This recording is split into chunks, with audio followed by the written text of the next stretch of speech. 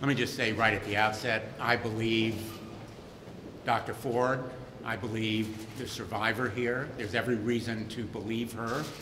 She has come forward courageously and bravely, knowing that she would face a nightmare of hostile and vicious scrutiny and challenge. We should not be rushing to judgment with a sham hearing on Monday. There are corroborating witnesses, and they too must be called, including Mark Judge, who was allegedly in the room, and the therapist who counseled Dr. Blasey Ford in 2012, and other expert witnesses who would both be an expert in sexual assault and crimes, trauma, and PTSD associated with the survivor being attacked. It is shameful that the Senate Judiciary Committee plans on repeating the ugly piece of history by doing to Dr. Blasey Ford exactly what they did to Anita Hill by putting her on the stand alone. What are they afraid of getting?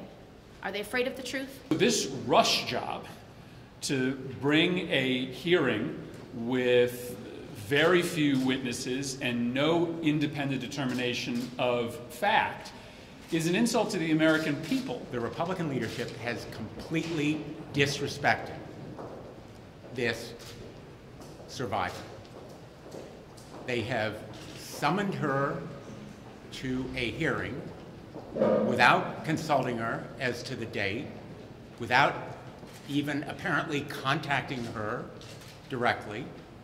She may well have learned about it through the press. Scheduling a hearing for Monday, a week from when Dr. Ford made her accusations public, is a shameful attempt to jam this through without giving anyone the time they need to investigate and put together the questions that need to be asked. This is what happened in 1991 when the Senate got information in the middle of a process, a hearing was jammed in just days later, and you know what? I hoped we could do better 27 years later.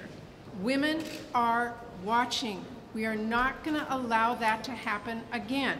The men in this country and the men in this committee, and many of them, believe me, because we all signed on to this letter to uh, demand an FBI investigation, but really, guess who's perpetuating all of these kinds of ac actions? It's the men in this country. And I just want to say to the men in this country, just shut up and step up. Do the right thing.